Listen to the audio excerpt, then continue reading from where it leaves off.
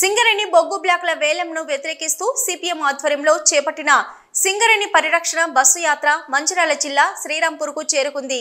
CPM రాష్ట్ర కార్యదర్శి వర్గ సభ్యులు S Veeraiah Srirampur ఏరియాలోని SRP three RK seven Singareni గని ఆవరణలో కార్మికులతో సమావేశమయ్యారు. కేంద్ర రాష్ట్ర ప్రభుత్వాలకు సింగరేణి సంస్థ నుంచి కొన్ని వేల కోట్ల రూపాయలు అభివృద్ధి పనుల కోసం అందుతున్నాయని కానీ సింగరేణి కార్మికుల భవిష్యత్తును రోడ్డు పాలు చేసే విధంగా కేంద్ర ప్రభుత్వం వ్యవహరిస్తుందని అన్నారు. మన రాష్ట్రం నుంచి కేంద్ర బొగ్గు గనుల శాఖ మంత్రిగా కిషన్ రెడ్డి ఉన్నప్పటికీ ఫలితం లేదన్నారు. కేంద్ర ప్రభుత్వ రంగ సంస్థలను ప్రైవేట్ పరం చేస్తుందని ఆందోళన వ్యక్తం చేశారు. కార్మికులకు సొంత ఇంటికల నెరవేర్చాలని ఆదాయ పన్ను మినహాయింపు చేయాలని కాంట్రాక్టు కార్మికులను పర్మినెంట్ చేయాలని డిమాండ్ చేశారు.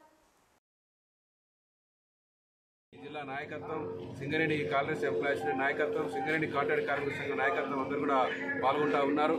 ముఖ్యంగా ఈ కేంద్ర ప్రభుత్వాన్ని మేము డిమాండ్ చేస్తున్నాం.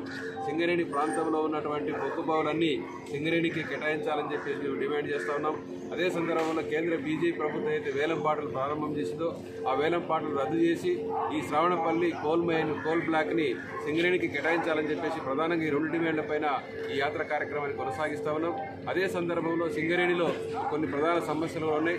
సింగరేణి ఎంప్లాయీస్ పర్మనెంట్ ఎంప్లాయీస్ సంబంధించి ఒక సొంత ఇంటి కళ అనేటువంటిది ప్రధాన డిమాండ్గా ముందుకొచ్చింది.